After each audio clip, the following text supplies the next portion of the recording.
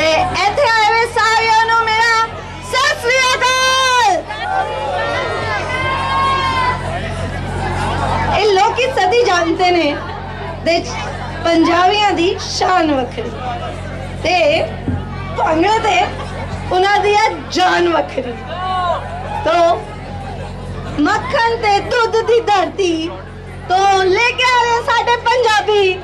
bhangra